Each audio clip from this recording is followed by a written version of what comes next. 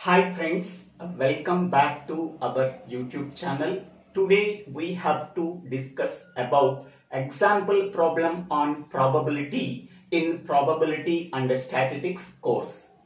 The given problem is when two dice are thrown at the same time, find out the probability of the following events. Bit A is probability of getting both are even numbers. Bit B is probability of getting sum of numbers is 10.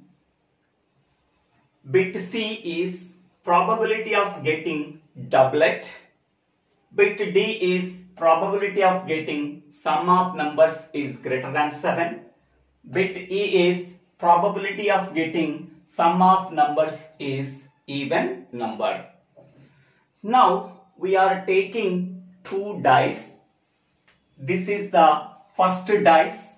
It consists of six numbers 1, 2, 3, 4, 5 and 6.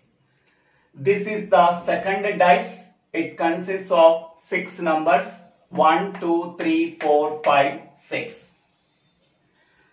When we are throwing two dice at the same time, how many number of possibilities we are getting? There are 36 possibilities we are getting that is 6 into 6. The first dice contains 6 numbers, the second dice contains 6 numbers, 6 into 6 that is equal to 36 possibilities we are getting.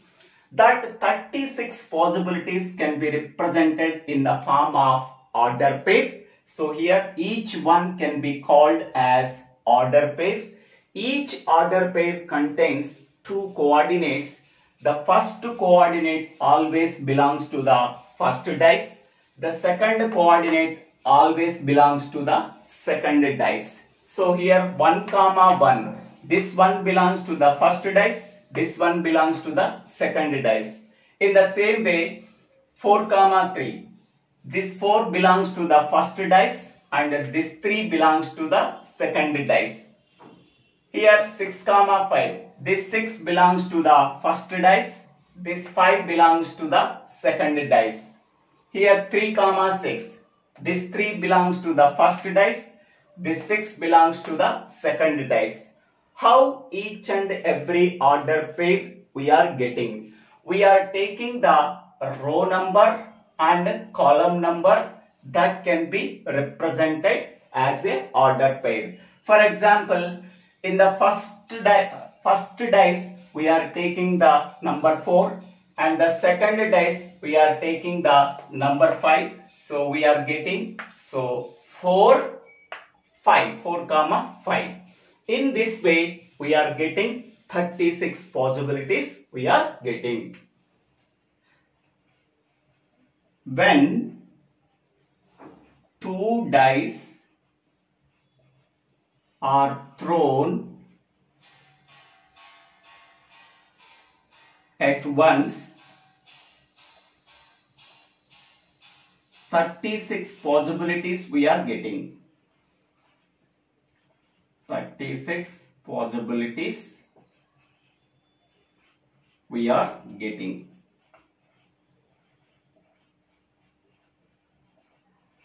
how 36 we are getting? First dice contains 6 numbers. The second dice contains 6 numbers. So that is so 6 into 6 so that is equal to 36 possibilities we are getting. Therefore exhaustive number of cases. Exhaustive number of cases that can be represented by n that is equal to 36. Okay. Now we can go for a bit. A bit is probability of getting both are even numbers. Probability of getting both are even numbers.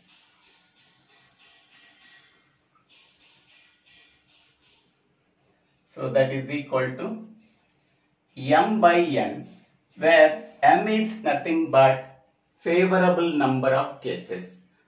Okay, what is the favorable number of cases? Okay, both are even numbers. So see this one.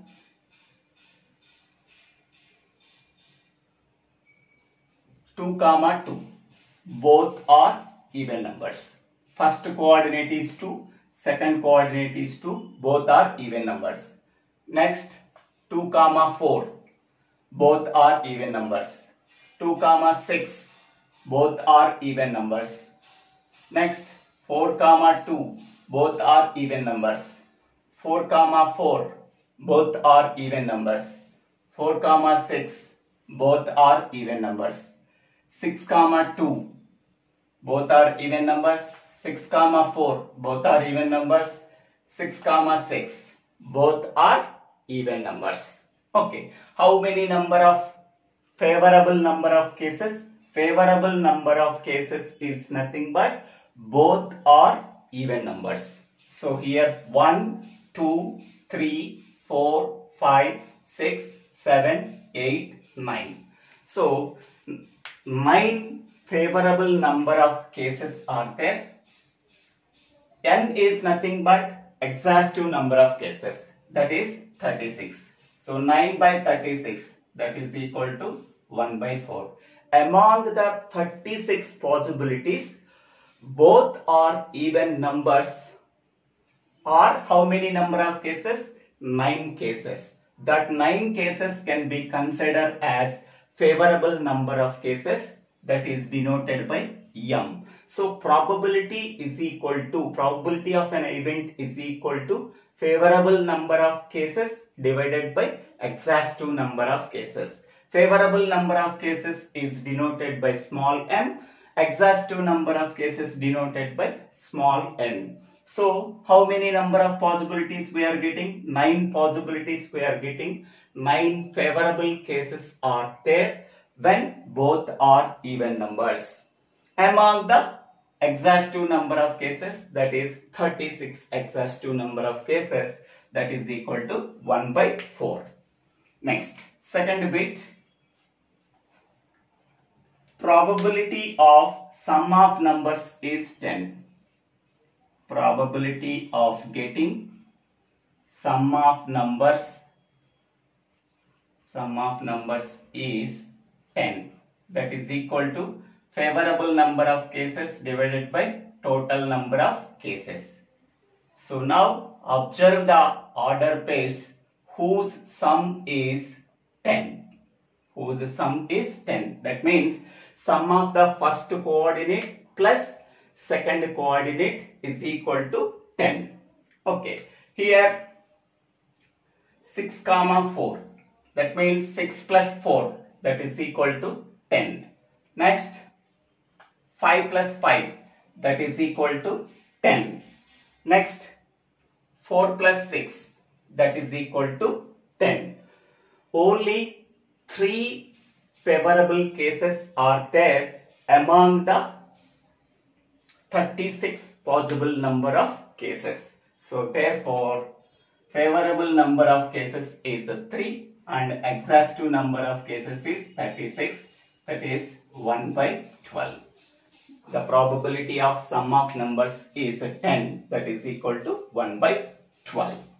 Next, C bit probability of doublet probability of getting doublet is equal to favorable number of cases divided by exhaustive number of cases. Doublet is nothing but first coordinate and the second coordinate both are same. First coordinate, second coordinate both are same that is called as doublet. Okay. So first coordinate, second coordinate both are same. 1 comma 1. First coordinate and second coordinate both are same. 2 comma 2. 3 comma 3. 4 comma 4. 5 comma 5. 6 comma 6. So favorable number of cases is nothing but both coordinates are same. So that is equal to how many number of favorable number of cases? 6. Total number of cases that is 36. So 6 by 36 that is equal to 1 by 6. Okay. Next one. Fourth bit. Probability of sum of numbers greater than 7.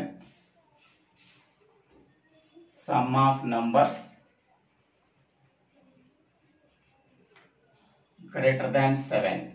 That means sum of the first coordinate and the second coordinate is greater than 7. How many number of favorable number of cases we are getting? So see this one. Here 2 comma 6. 2 plus 6 that is 8 greater than seven. it is 8 is greater than 7 next one 3 plus 5 8 that is greater than 7 next 3 plus 6 that is 9 9 is greater than 7 next one 4 plus 4 that is 8 it is greater than 7 4 plus 5 9 it is greater than 7 4 plus 6 10 that is greater than 7. 5 plus 3, 8. It is greater than 7. 5 plus 4, 9. It is greater than 7. 5 plus 5, 10. It is greater than 7. 5 plus 6, 11. It is greater than 7. 6 plus 2, 8. It is greater than 7. 6 plus 3, 9. It is greater than 7. 6 plus 4, 10. It is greater than 7. 6 plus 5, 11. It is greater than 7.